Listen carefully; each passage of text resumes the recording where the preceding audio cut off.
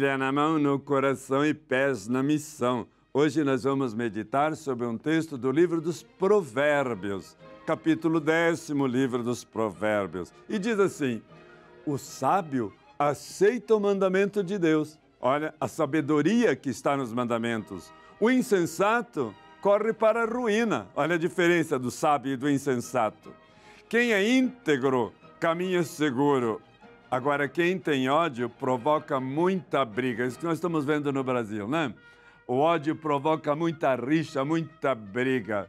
E o amor é cobre todas as ofensas. Olha que maravilha. Me ofendem e eu vou com o amor superar as ofensas. E quem observa a disciplina caminha para a vida.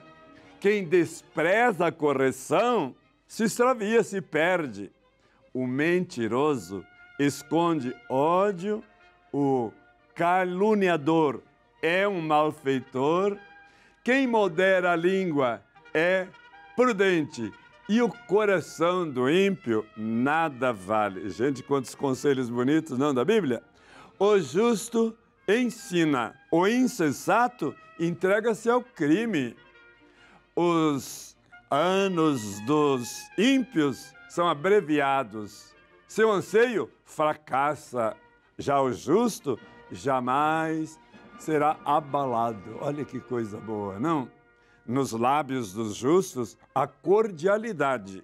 Na boca do ímpio, a perversidade. Repreenda o sábio, ele vai te agradecer. Repreenda o ímpio, ele vai te odiar. O sábio aceita conselhos o justo aprenderá cada vez mais na vida. Por quê? Porque a sabedoria mora com a prudência. A reflexão, o conselho, a honra, tudo isso nos dá muita sabedoria. E a sabedoria caminha pela estrada da justiça, a estrada do direito, a estrada do bem, a estrada da verdade.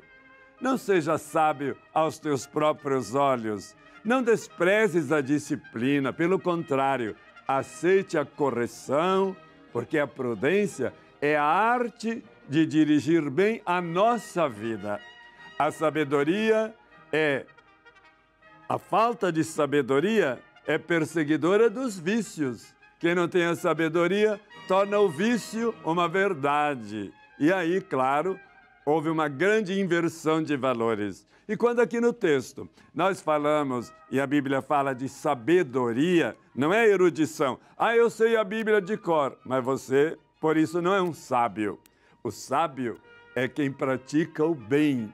O sábio é aquele que dá sabor às coisas. Então, o sábio, ele vai saborear as escrituras. O sábio vai saborear a verdade. E aí vem a palavra sal.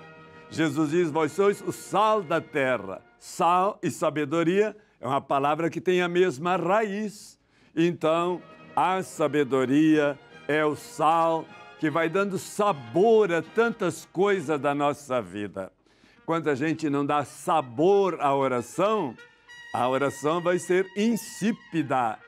Vamos pedir essa graça do sabor, da sabedoria e nós vamos ser novas criaturas. E fique com Deus.